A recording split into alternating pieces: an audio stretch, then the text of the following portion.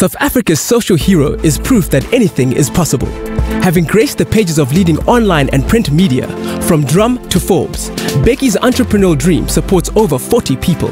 He employs eight and educates over 30 through his internship academy. But his life wasn't all a dream. With a journey that starts in a prison cell, it is proof that once you've hit the bottom, you can only go up. This is a story of a Youngpreneur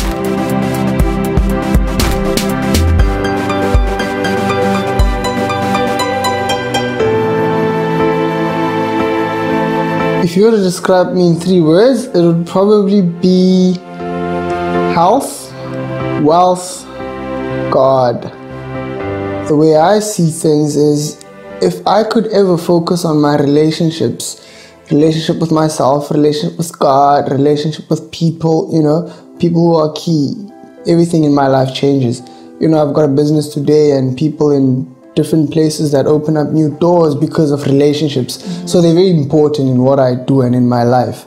Um, wealth, I grew up with no, no, no. I grew up in like um, harsh situations, so wealth wasn't something we really knew about. But when I really discovered what wealth was, it wasn't really money that you get; it was money that you keep and um, and keep growing. So to me, that's a very important part of my life. And then health is obviously an important factor of my three pillars because What's wealth if you're unhealthy? What's relationships if you're unhealthy? Um, some of the toughest challenges I've ever encountered would probably be um, expulsion from school. And that was kind of tough for me as a child, not understanding why my friends don't play with me anymore, why I'm segregated from every other people, you know. Yeah, so that was really a bit of a big challenge, and obviously being exposed to all these other different things that you get into when you get in trouble with uh, the wrong side of life. I was expelled from school for hitting my grade 8 teacher with a hammer.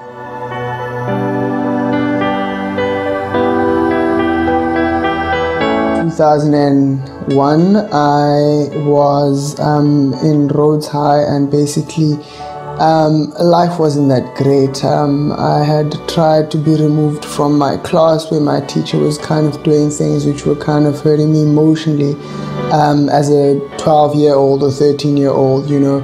Um, from things like reading my journal to this class and having kids speak about my dad that's in prison, which were emotional things to me and they had emotional ties, you know, um, to always sending me out to do things while speaking about me to other kids. I mean, I remember the one day which really kind of hurt me was when I came back from being asked to go get paper from another class, and I came back and the guys were speaking about my poverty status, like Bheki's on TV, but he lives in a garage in Heidelberg, you know. And to me as a kid, I couldn't understand who knew that besides myself, whom I'd been writing all these things in my journal. So a lot of my private life was exposed to masses and masses of people. And uh, this continued for over about months and months. And I kept asking my mom, you know, to kind of go to another school, but that was the only school I could go to.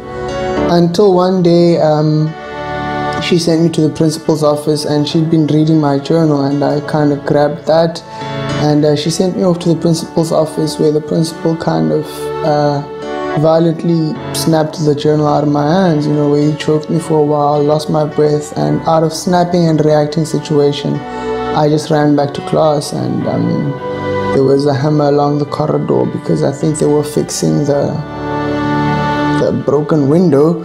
Um, and I just grabbed that and started hitting my teacher, and I was expelled from school. So that was one really harsh situation. But life beyond that and after that was just really, really a bit of a spiral to hell, I'd say.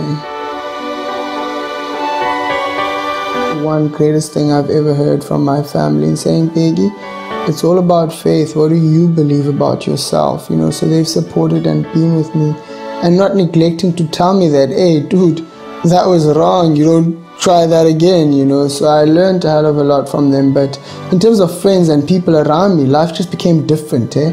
Like everyone just treated me like I was a very, very notorious criminal, you know, like this 12 year old kid. Like some even nicknamed me the pioneer of high school violence, you know, which was I, I didn't necessarily like that. I didn't want to be that. It was a situation of just snap and react, you know, and I wasn't really proud of that.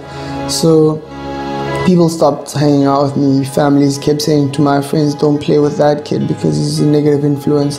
And I mean, I went to juvenile detention and you just exposed to a whole new different life that you're not even part of, you know, so things were just harsh. For me as a person, one of the greatest things I ever learned probably from my, um, my, my roommate would probably be one day when I said, hey, my man, Etienne, I think I've just screwed up my life, you know. And he said to me, um, until you actually believe that your life is screwed up, your life is not screwed up, Bheki, you know. And that day I kind of scratched my head and thought, um, so what do you mean? And he's like, what you believe is what you become, you know. And it's where I started kind of trying to understand why he was thinking differently, what was and I spent some time with Etienne and I found he was reading quite a lot and studying all these successful people and I started joining him, you know. And, and I think juvenile, one of the greatest things I'd probably take from being in hell is that if you're locked up in this room, you dream of all these possibilities you could be doing outside. But the biggest problem is you're locked up in this room, you know. So it it ignited dreaming because you're locked up I can always say that being in juvenile just ignited the dream, uh, the passion for trying and believing things that I can't really do, you know. Going to prison as an adult has been something I've been told and forced to believe, you know, um, by plenty people. And I had a lot of people just say, Bheki, you'll probably just end up just like your dad because I mean, I've never really seen my dad outside of prison at that time, you know, and he'd never been out from the time I was a kid to when I was 12, 13. You know, the only time I see my dad is behind bars. And people just started saying, You're just following the footsteps of your dad. And that was. It's tough, yeah. That was one of the toughest things. I was expelled for my wrongdoing but after that, I was still expelled from Seponai, Cambridge College because I was Bheki. And that was a very long challenge, and I faced depression for almost a decade of my 12 years to probably being 20. Couldn't get into school, couldn't.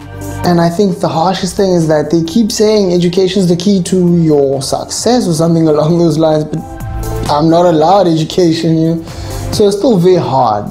I won't lie, it was one of the greatest battles I've ever been through. And I remember committing suicide when I was expelled from like the fourth school. Because I mean, I kept trying, and what I kept doing was look, my name, Bheki Kunene, is getting me into trouble now because everyone, there was tabloids, newspapers, everything writing about Bheki Kunene. So I decided, well, okay, cool. My name on my ID, that's when creativity started coming up. My name on my ID is Bheki Sisa Obet Kunene. So I thought, well, look, Bheki, how about the Obet? So I registered as Obet Kunene, and cool enough, they didn't know Obet was Bheki Kunene. Did school for um, a few months, and someone said, Yeah, Bheki," in front of the principal, and the principal was like, Huh? Why is he calling you Bheki? And I was like, Well, my name is Bheki Sisa Obet Kunene to kind of hide the Bheki part, but still. I was expelled a few days later. The principal called me in and said, Hey, look, I didn't know you the Bheki. So I was still titled the Bheki. I had just given up on life, you know, as much as I was free, but I couldn't do anything. Like everything was closed. Whatever I tried was just not working. So one of the few things I had really encountered was life after that juvenile was even harder. It all started when I basically um, had failed in anything. It was a real weird situation where you know you you try and kill yourself and you fail. You try and get school and you fail and you try anything and you just fail and you fail and you fail. An idea came about from my parents when they said maybe the last option is to try God. I wasn't a religious kid at all at some time in my life. So I went to church. The closest church was Jail Zwane. And I went to Jail Zwane and I, I started going to that church and um, I heard Umfundisi, one of his sermons was around mind change and how people think, which causes them to be different. And he said that, I remember those words quite clearly when he said, Angeze ndizalwe etyotyombeni ndifele etyotyombeni and his sermon was around that. And I, I was like thinking so what does this mean? And he's he explained it as you can't be born or in a situation and die in that situation. And he started explaining how it's all up to you to go from this situation into this situation.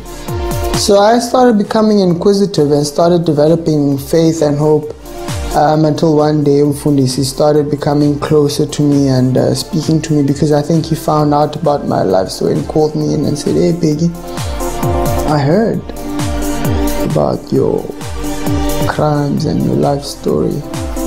And the first thing I remembered was, you know, I've always been exposed to that. When someone finds out that I'm the Bheki, they kind of throw me out of their life. And I was expecting that. So when he started speaking to me, I was thinking like, yeah, whatever. He's probably just not going to allow me to go to church or anything. But what he said kind of changed my life. You know, he said, Bheki, why are you looking even angrier at me that I've called you in to speak about this than you were initially? And I told him, look, it's normal. People hear about me and they found out about me and I'm expelled from anything. So I know you're going to do that. So you might as well do it. And he said, No, Bheki. No. I would like to actually change the way you think and expose you to the other side of your mind. And that was when life started shifting. The, the one exercise he made me do was write a letter of whatever I dreamt about at the time. And I said, I dream about becoming the world's greatest inline skater. And he said, Dream big. And I said, That's the biggest dream I have, you know. So he said, Okay, cool. So, how do you achieve a dream? So, think about it. See yourself as the greatest. What do you need? And I said, Well, the first thing is I need rollerblades because I don't even have rollerblades. And he said, So, how do you get it? And he made me write a letter, an application, and a whole process of achieving a dream. And I did the whole process and I actually got the rollerblades, and that's when I started believing, and that's when I developed the process of getting what I wanted. From there, I just started using my anger and pain and hatred towards just pushing towards my dreams and stuff. Mindtrix is basically a biblical thing which I was exposed to at that time when life was hard um, if you look at my life, I started believing that I could be something when I was not. I started instilling in my mind that I could get out of that situation when I knew I was probably not. Um, so that's how the name came about. It was faith. Um, and if I read from the Bible, it says faith is the substance of things not seen. And, and that's what Mindtrix is. I believed in something that didn't exist and I made it from step by step by step by step by step. And that's how Mindtrix really evolved. I started understanding that it wasn't necessarily about what you learned in school. In any case, it was about what you learned from your life experience and reading. And I developed this joy for reading. So there's a lot of books on business. I started reading everything I possibly could about business and funny enough, I, I applied to SAB Kickstart in my early days of business. And they asked, So, Bheki, why do you want to win this money? And I think the funniest thing they kind of laughed at was I said, I'm not here to win any money. I'm just here to learn how to run a business because I don't know that, you know. So I used any opportunity I could possibly find to learn as much as I possibly could from the SAB Kickstart competition where I was in the top 10 eventually, which was like a miracle. I was like, okay, I was just here to learn. Now I'm in the top 10. But anyway, I think I just took that learning thing and started applying everything. So I was like a sponge because I wasn't given enough education. I was like wanting to learn a lot, apply it very quickly. And I still wake up 4 a.m. in the morning. I spend my first hour reading on a subject I don't know, so I know and I make more informed decisions. So education played a really key role in developing the business Mindtrix Media is a graphic design and web design agency based in Cooks. Um, our core services is graphic design, web design, app development, developing sites. Um, we've developed a few complementary services such as printing, web hosting, and developing other marketing material for clients. So it's kind of a one-stop station for any business, any person looking to get a brand and marketing out there. Being in the township has really helped grow and really shape what we're all about. Being in the township's really been uh, quite an amazing experience for us because we started in Khayelitsha in my bedroom, or I started in my bedroom, you know, and it developed from there and it went to Cape Town, Loop Street. But my one key thing was that it was kind of moving away from the vision as to why, why this company, why this dream. And I remember sitting with Mzwanele and we said, um, why did we start Mindtrix? And we started Mindtrix to really kind of give what I was given to other people. At Mindtrix, we have about eight people that work at Mindtrix. Uh, five guys work full time, and then we've got three guys which work on virtual employment. So basically, that's part time, full time type thing. Um, they basically work on computers anywhere they want to work. Um, they get sent the project and they kind of complete it, send it back to us, and we kind of manage from there. So I was basically given a um, free tertiary education by the Ruth Prowse School of Art, which just kind of made me believe even more in, in different things and possibilities in life. And then they exposed me to concept, which did the same. And when I asked, what do I owe you? They said, all you need to do is to help one person and that's it. If you ever been exposed to the saying, if I'm sure you've obviously have been, which is um, give a man a fish and you feed him for a day, but teach a man how to catch a fish and you feed him for a lifetime. I was given that they exposed me to something which I never had, and I took it and I became one of the best. And it changed my life for a lifetime, you know. And I thought, how do I help someone do that? And that's how the internship uh, scholarship program came about with them, where I take kids from ICAS and I basically expose them to IT, graphic design, web design, and they come back. We give them internship, and some of the greatest we employ. We've got Mzwanele, he's done the course um, he's done it when I was actually lecturing at the time, um, and uh, he's employed at Mindtrix and he works full time. So we've kind of changed one person's life, and it has grown and grown and grown. But coming back to the question, being Ikasi has helped me fulfill that. That's the one that I really enjoy. That's why we have the business, you know that we can actually provide a service, make income, but simultaneously change someone's life for a lifetime. On the internship program, we have currently about 36 guys. Um, that would include the first batch or the first intake, which was in January, um, including the one which I'm currently working on right now. So, about 36 this year. Last year, we had 18 guys who successfully completed it in the previous year it was the, the pilot 2 so it's been a very successful program in getting two guys to 18 and now to about 36 as an entrepreneur some of the greatest challenges that i've ever faced was obviously running a business without knowing how to run a business. So i was basically doing it out of passion and faith you know tricking my mind into believing that it can be successful it can be possible. But um, some of the biggest one would probably involve me getting into accidents and not having systems and processes that run the business without me. So those were some of the biggest and recent challenges I faced where um, I had big personal problems, you know, um, and I had to be in hospital for some time in coma. And the company had to run without me, but we never prepared for that. I didn't know I had to prepare for that. The first international client we acquired was Kevin Wingi. Um, he heard about Mindtrix from Fundisi at the church. So I think uh, the Reverend started raving and ramping about us uh, because we were kind of developing the thing very slowly and quite well and going through it. And we started doing some design work for the church as well. So I believe Kevin was at the center with the Reverend and he heard about this business and when he went back to the US, he sent me an email and said, Hey, I've got something I'm doing here. Um, but I mean, it just makes you believe in what you're doing. you know, if you get your first international client, you're like, okay, I think I'm on the right track. You know, so it just sparked a lot of excitement, and we were really amped to kind of grow into it and do more and more and more. For me, um, one of my next biggest exciting tasks is to kind of uh, set up and complete the setup in Zimbabwe.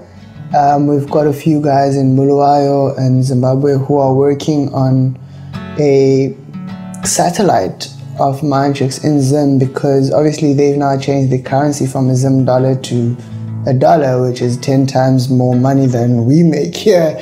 So we gave um, and the other guys some of our old equipment and kind of gave them ways of how they can set up the Mindtrix there. So I need to go out and see those guys and kind of, because they're kind of running it already and I haven't even been there with them. So it's quite exciting getting calls from them and I think to me that's one of my next biggest thing, which is quite cool. Um, but apart from that, is some other things where we've started working very hard on getting more international business. So we've got clients in Vietnam, in Rome, um, in Texas, in San Francisco, Angola it's crazy just being in Googs and, and being able to kind of point all these different continents and say, we've got clients there. Some of the language I still can't speak, but anyway, English kind of saves us. Um, so apart from establishing the different uh, the different uh, satellites and branches and running Mindtrix from one head office is one of my next biggest steps and kind of seeing that. But uh, one uh, daunting one for Mindtrix, which we're still working on, is uh, starting with 600 Rand and one computer and having Mindtrix Media on the JSE as a listed company. I think that's one of the biggest goals that uh, I've got in mind at this point. Still fearful of it.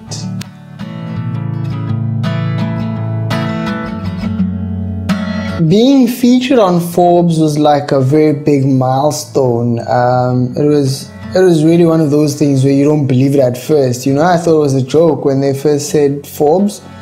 said the Forbes. Said, yeah, we want to do a story on you, and I said, okay, I'll believe it when I see it. You know. So they arranged everything and took a flight down to Cape Town and I gave them the address and I told them where I was. I mean, at first I was thinking like, am I not too small for Forbes? I always say that with whatever you thrown in life, you can always flip it around. And my, my, my, my, my funny version of my life story is I was thrown in hell and my life was hell, but I found in hell I could sell ice blocks and I started selling ice blocks. From there, my business and my vision of my dream grew. And I started selling air cons in hell, and I sold cold water in hell, and I took all the profits and I bought a private jet and I flew to heaven. And my whole point about that is that you could be in any worse situation, but find a way that you can twist that and use it to your advantage. And then you are the only person that can take yourself from one point to the other. And my only advice is do it. Do it. Learn everything you possibly can about the industry you want to go into. Take your 600 Rand, and if you're passionate about this, you can do it.